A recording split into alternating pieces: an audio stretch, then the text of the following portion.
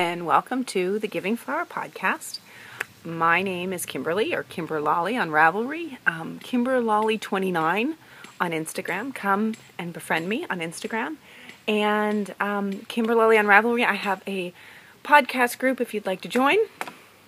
Um, there's not a whole heck of a lot going on, but it's kind of fun. So if you want to join that, it's the Giving Flower podcast group, and I also have one for my designs. So, hi welcome. Welcome back. Welcome to new viewers. Thanks for coming by, spending your time with me today. I am in the backyard because it's still quite nice out here. Um, I'm wearing my windows, window to my soul sweater, short sleeve sweater because it's really quite nice. It's been raining all morning, so I've been waiting to come out here for quite a while, and um, it's finally stopped. So here we are. I didn't want to go inside to, to podcast, so we're out here. It's kind of a bit overcast, but it's quite nice. And um, my neighbor was out because we have moles in the yard, and they are driving me nuts. They are everywhere. I don't know how to get rid of them. I have tried everything to get rid of the moles. I now have bottles, beer bottles in my yard, which I did last fall to try to get rid of them. And um, it looks like we drink a lot because there's a ton of beer bottles sticking out of the ground. Apparently, beer bottles are supposed to keep them away. The wind blows and the the air, the, the noise goes down through the tunnels and they don't like that. They don't like loud noise. Moles are protected by law here in Germany. You are not allowed to kill them. Not psyched on my part. I don't want to kill them. I just don't want them in my yard. Everything I have tried has not gotten rid of them. Well, my neighbor now has them. And because they don't like loud noise, she comes out daily and hammers on metal rods that she's stuck in the ground and she'll hammer on them to scare them away. And just as I sat down to do this, she came out. So, but she's wonderful. And um, uh, so it's no big deal.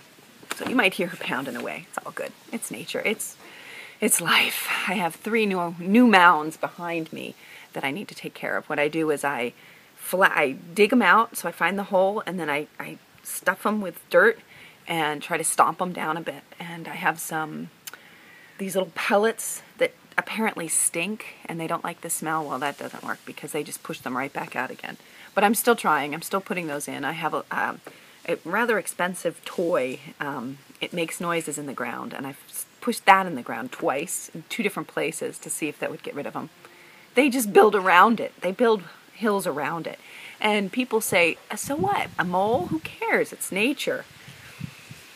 It's not so what because when you're walking, it's dangerous because when you're walking through the yard, there's divots now everywhere because they've dug up the ground underneath. So you're walking around and you can you can really hurt yourself if you're walking in the yard. It's not funny and it is not fun. And this is why it's bothering me. If it were just you know, wasn't going to hurt anybody, wasn't going to do anything, I wouldn't have a problem. But it is driving me crazy because I can't get rid of them. I just don't want them in my yard. They can live elsewhere, but not on my yard. I'm sorry, the, the, the door is closed and it seems like the cat is trying to get out, which she never does. Could be, could be, uh, oh, I should show you my neighbor. She's so funny. She's trying to find the holes. Did you find any, hast du mehr gefunden?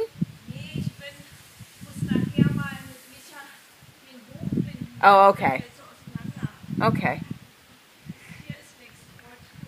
Sehr schön. She's um she has a bush that has to be held together, so she and her husband are going to come out and do that. That's what she was talking about. But she's she's underneath the bush. I don't think she knows I'm podcasting. so anyway, I don't want to get her on. So I don't think she'd be too psyched. So anyway, um, ah, so that's a story with what's going on in my life. It has been a very busy two weeks.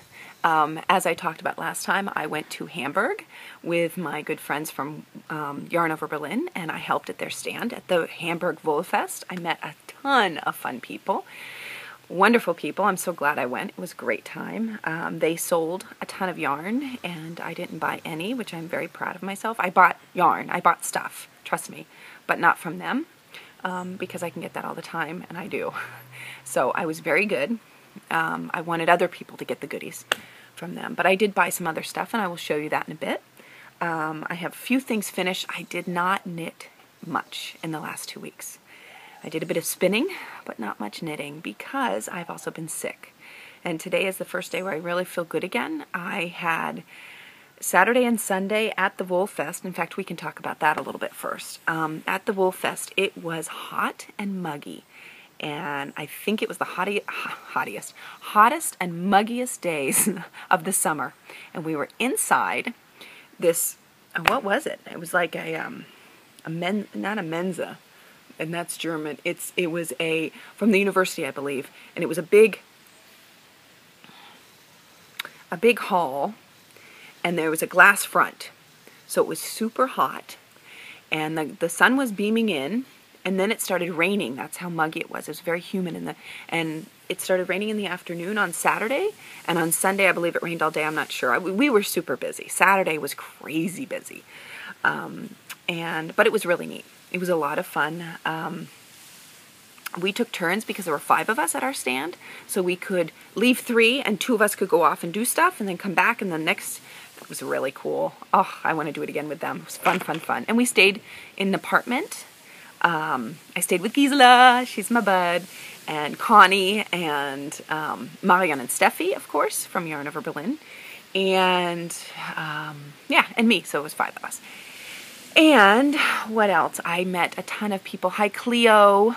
And Distelflieger is a German podcaster who I met. And um, very, very nice. And I talked to her a little bit, not too much. I've never watched or I never listened to her podcast. I'm going to. I have yet to do that. Um, as soon as my my MP3 player I listen to when I'm doing housework or running it's full right now. And as soon as the batteries are empty, I plug it in and then I put more podcasts on that I can listen to. So right now I'm just listening to the ones that are on there. And as soon as that's done, I will go and listen to and download Distelflieger. I can't wait to hear her. So I met her. Oh, there's so many people. Stephen West was there. If you're on my Instagram, you'll see Stephen West and I did some fun pictures. He is fun. He's the nicest guy. He is just an easy person. He reminds me of my brother. My brother is also very, very easy and down to earth. And and that's Stephen West. He's not he's not it's weird. He's just he's just a nice person. Um, he's not stuck up, although he very well could be. He is um, just a very easy person to say hi to and be goofy with. So I got some pictures with him. I saw it was Isolde Teague. I asked her for a picture. Um, I didn't really talk to her much. I didn't want to bug her. I just wanted a picture with her. and um, who else was there? Who else did I get? Oh, quite a few people. Um, I can't think of anybody, but I will think of them. And uh, some people from Instagram that I've met and haven't talked to or have never met before. Um, yeah, it was really quite fun. So if you want to see any of those pictures, go to my Instagram. It's KimberLolly29. That's me. Um, uh, I'm private just because I don't want my students and everybody seeing my Instagram. Not that I have anything of any importance, but um, I didn't want my student. I just I I want knitters in my Instagram, and um, some I have a colleague, but he's great. he's totally cool. So he's he's on my Instagram. But other than that, I'm, I kind of keep it to knitters. So ask and I if you have knitting in your um, description, I will grab you. So, and I usually follow you back because I do love to see what everyone's doing. Um, I always think it's a give and take. So, um, yeah. Anyway, so at Hamburg, you know me and tangents. I go off on tangents because I do love my tangents. Let's get back to Hamburg. What did I get at Hamburg? In at Hamburg, in Hamburg. First of all, um, Cleo was working the Wollmeise stand, and if you wanted to get anything at Wollmeise, you had to wait for half an hour in line. And obviously I couldn't on Saturday. I was too busy. I didn't get away from the stand. So on Sunday morning, we got there a little bit early, and they allowed us, because Cleo was working Wollmeise stand. Thank you, babe. Um, I um, we were allowed to look and see, and I just wanted one thing from Wollmeise because I have enough. I have enough everything really. I don't need a thing, but I did want one thing, and I have a Novum in this. And Steffi had gotten me my Novum Wollmeise years ago. It's my favorite. It's my favorite color, and I wanted another one just so that I had it for the next thing that I make. It's not going to be a Novum, but it is um, Wollmeise lace. Had to have it, and they had three, which I was totally psyched about. So I got the one with the most yardage. It has 323 meters in hortensia, which is hydrangea. So this is my blue. It's like a purpley blue. Totally love it. Love this color. So I got one of these on Sunday earlier because we had a little access. And um, what else did I get? We were next to a really nice stand with two very nice women and their yarns were just very pretty. and I kept looking over as I was selling. I kept looking over and going, "Ooh, that's pretty," and "Ooh, that's." I could have bought so many just because they were pretty, um, and so I bought two. Um, they were they the Wolkenschaf, Wolkenschaf, which is um, um, Wolken are clouds and Schaf is sheep. So there you have it. And this is Sock Yarn Classic, and they have the cutest tags. It's 75% wool, 25% polyamide, and these are my colors. Can you see? My colors.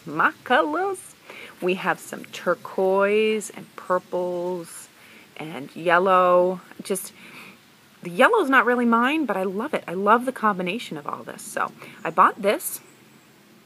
It wasn't super expensive. They're very, 10 euros for this. 10 euros. So I thought, oh, these will make great little summer socks.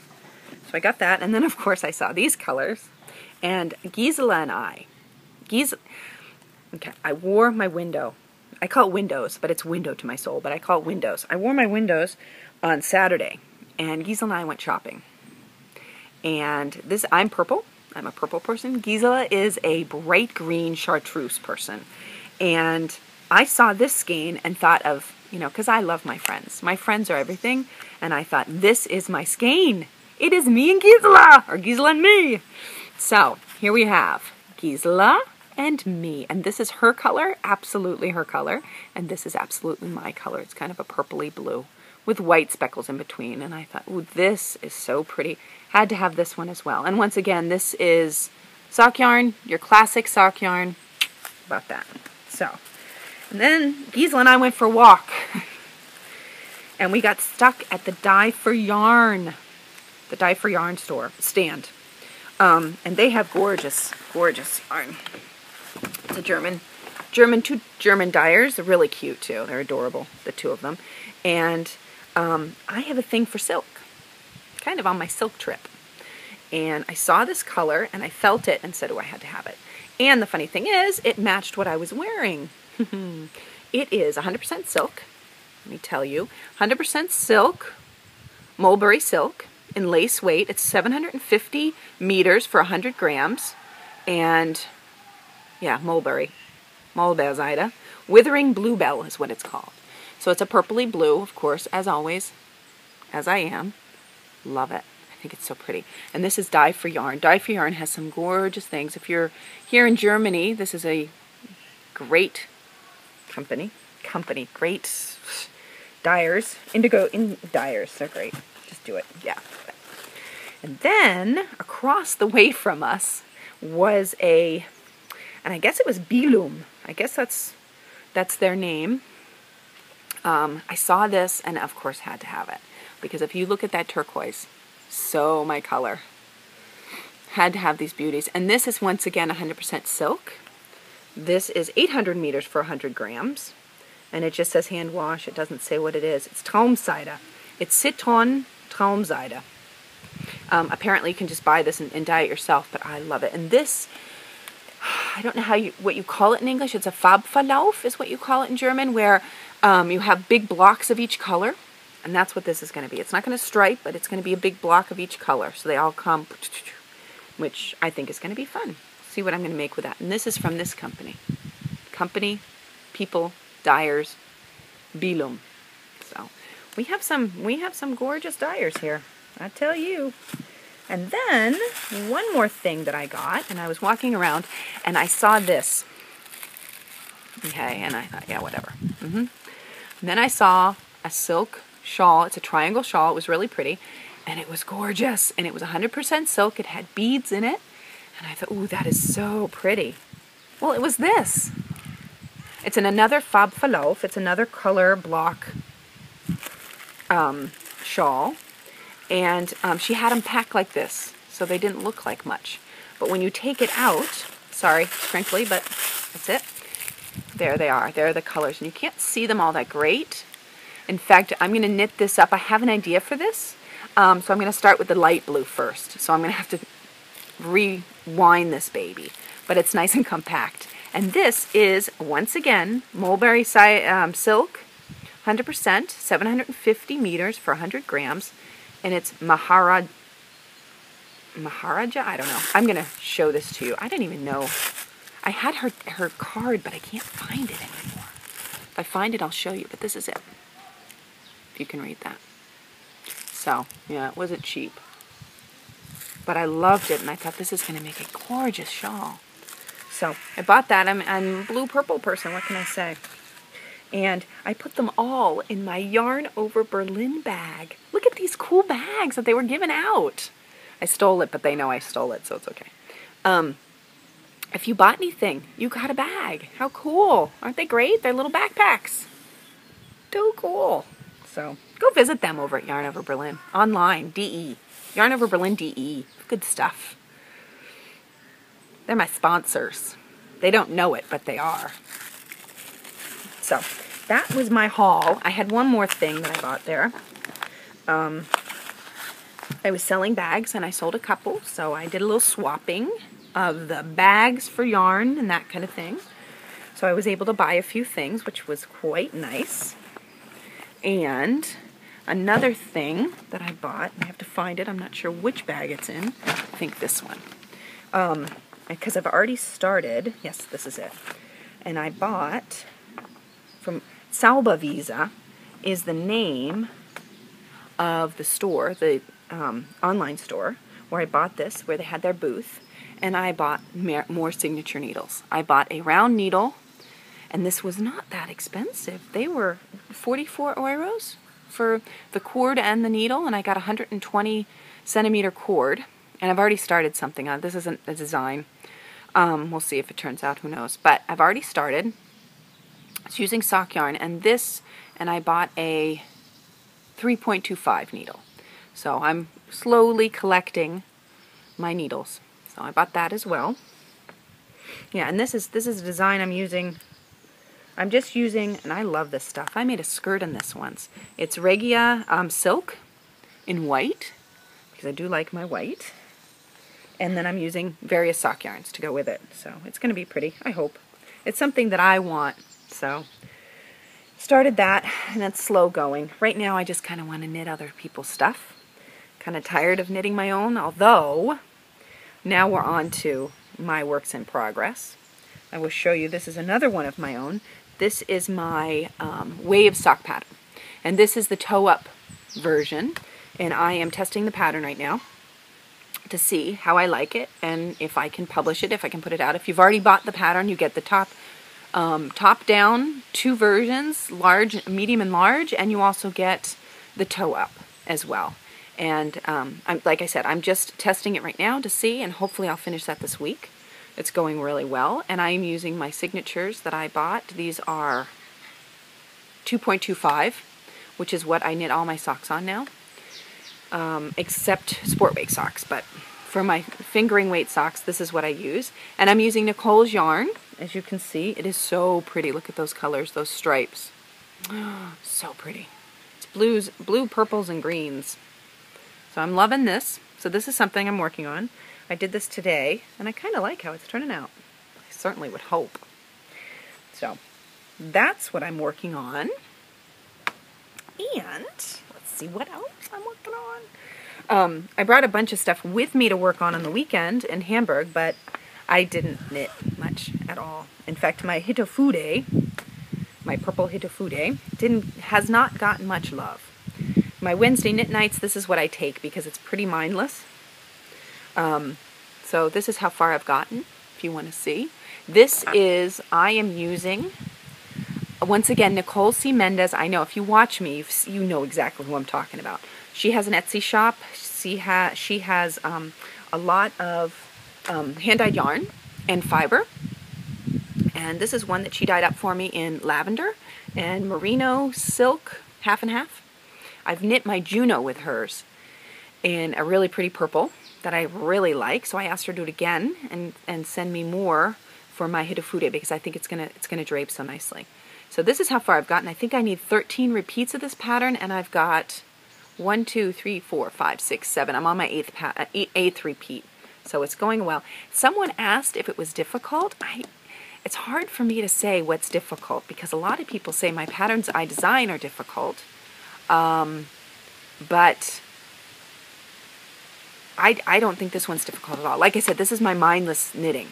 And so far, it's really easy. I can't wait to see how far it goes. Maria, in my Wednesday night knitting group, she is knitting it as well. She's much further along because she doesn't do 50 other things. she sticks to one.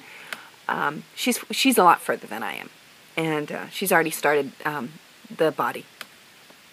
So we'll see. She's going to beat me. But this is what I'm going to try to work on this week. We'll see how far I get. Um, and it's funny because I'm using all my signatures. I now have three sets. I'm kind of psyched. I'm getting quite a few signature needles sets. So, and ah, my Halloween bag I made. This was my Halloween bag last year. I made witch socks, witch knee highs, and they were in this, and so I've taken it out because I love Halloween. So this is my Halloween bag. Um, what else have I worked on? My blanket. And I'm just going to show you stuff that I've been working on. I have other stuff, but I'm just going to show you when I'm in the mood to show you what I've been doing. And here she is. And once again, my signatures. I have, I bought these especially for the blanket. They're 2.75s and they're straight, little straight needles. And they're fun because they're perfect for this blanket. Very, very good for this blanket. And here she is. This is how far I've gotten. I've added these three squares. They're really pretty. Um, this purple and turquoise and this pink one were new this week. Um, and this was just, this is a Frankenstein square. I've just used a couple different ones that I had. And here she is. It's getting bigger and bigger. I have, oh, here's the turquoise. And the pink. And this is so cute. You've got to see this. This is Regia vierfädig, four ply color. And it's Flussi the Sockenmonster. Fluss, uh, Flussi the Sock Monster color. Too cute. So I had to knit that into it. Of course. And I bought this color when I was shopping this week. Um, this is Lana Grossa, Meilenweit, and it's called Aloha. Um, look at those colors. Aren't they pretty?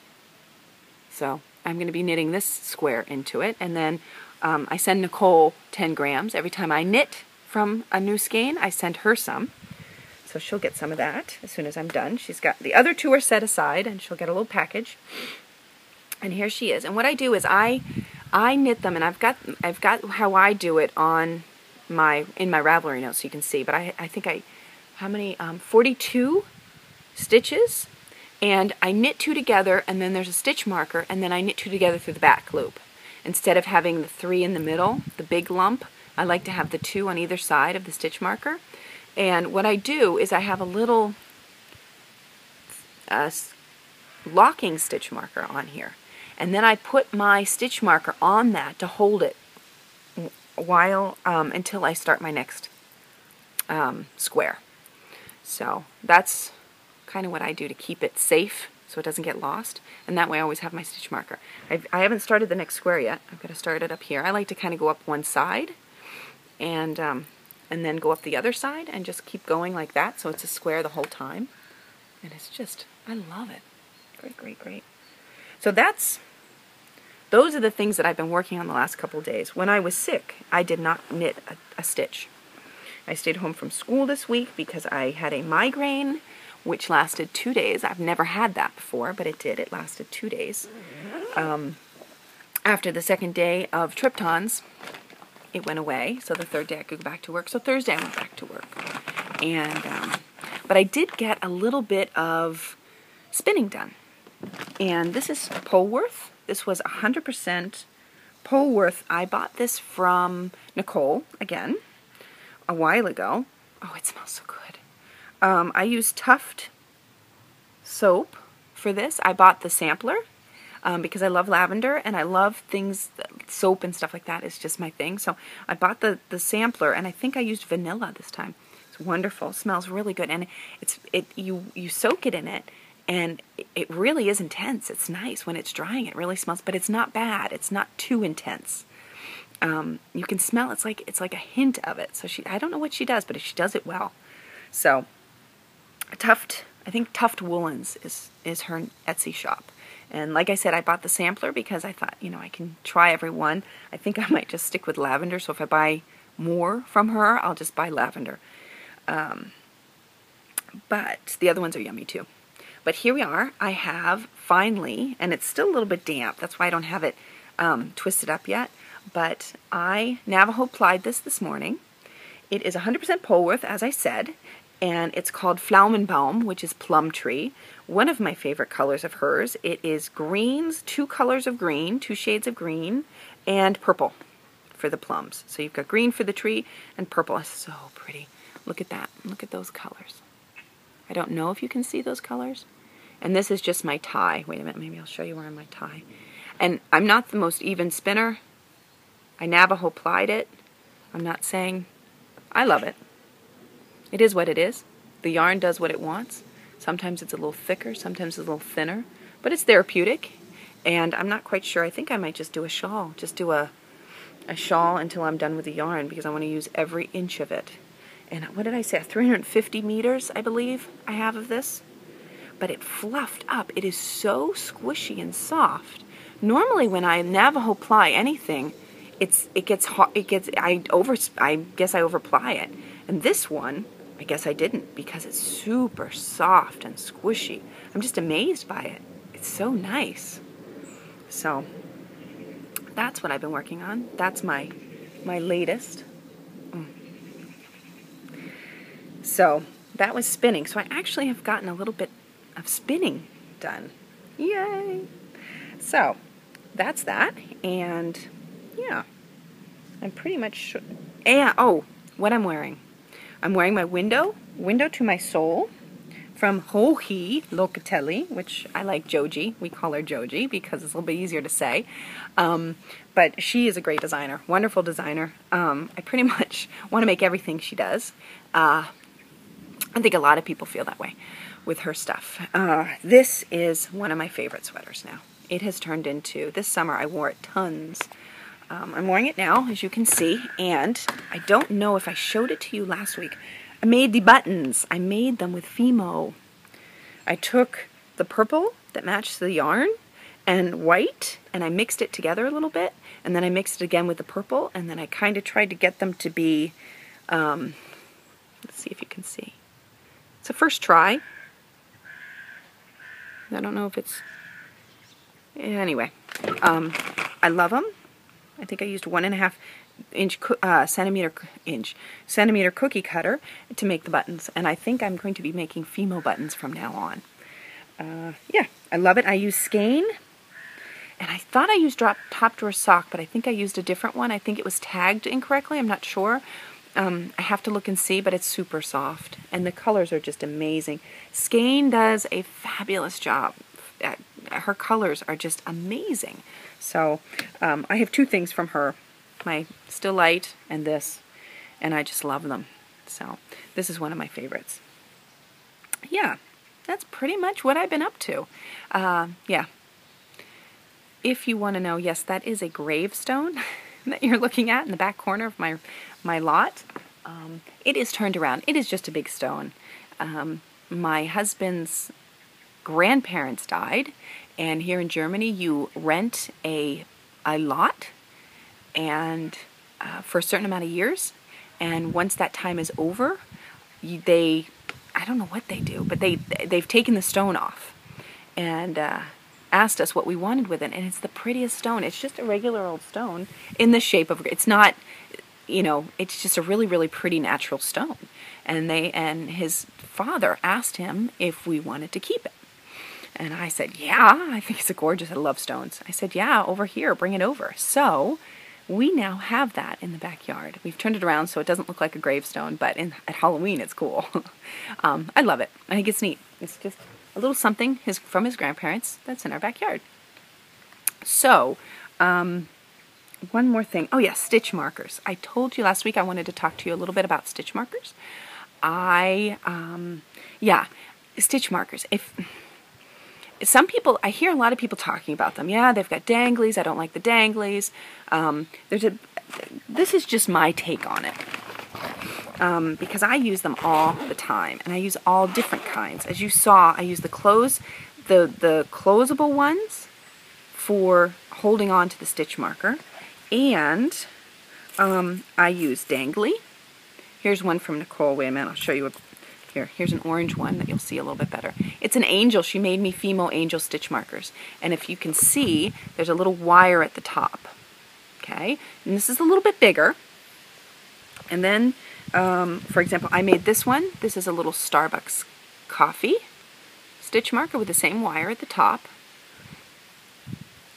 Out of Fimo, I made that one.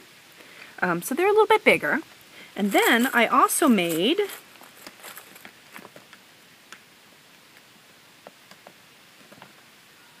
I'm just listening.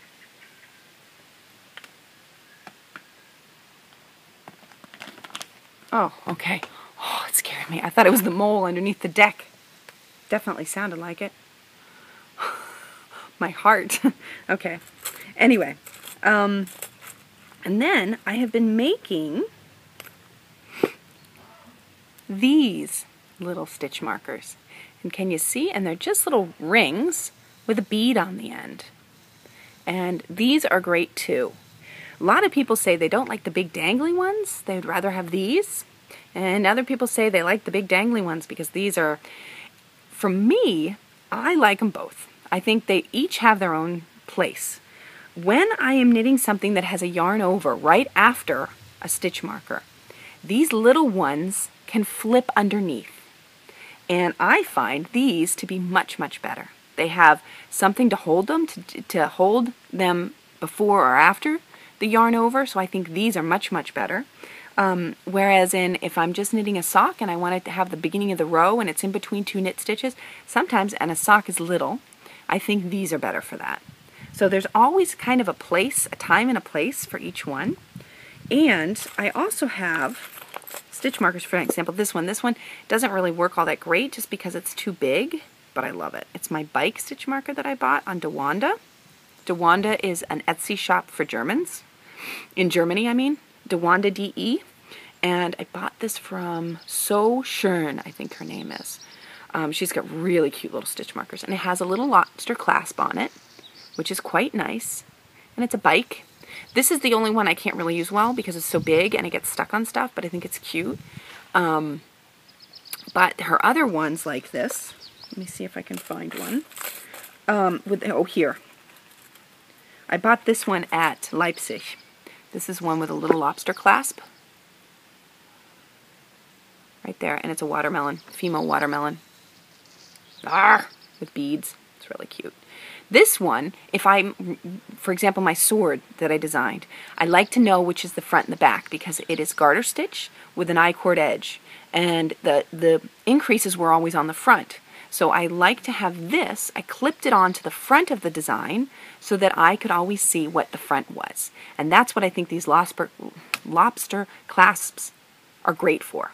So these are really good too for that kind of thing. If you always want to mark the front of your project, when I started my blanket, I, I used one of these to mark the front so I knew when to do the decreases because you always do it on the front row. Now I don't need that because I have enough blocks that you see, but these are also really, really good. So that's just a little bit about stitch markers and why some stitch markers are better than other stitch markers and why it's good to have a whole bunch of different ones. And sometimes it's good to have the kind, I find these not to be the best because they fall off for me. But these are another one that you can use just to kind of mark maybe every 10 stitches or 10, you know, if you want to mark them really quickly and you can take them right off. I don't know that you can see. They're little clips that go on. You can use a you can use a paper clip, whatever you have, this kind of thing, because you can take it right off then. Um, those are good to mark where you're knitting. Um, yeah, I'm going to open a thread. Let me know what you think about stitch markers. What are your ideas on stitch markers? Do you have any comments or advice or anything for the rest of us? I would love to hear it and um, see what you have to say. And I hope I didn't forget anything on that. But I, I just kind of want to talk a little bit about it because I hear so many people talking about stitch markers and, uh, you know, ah, they're not good and these are not good and they're too big and everything else.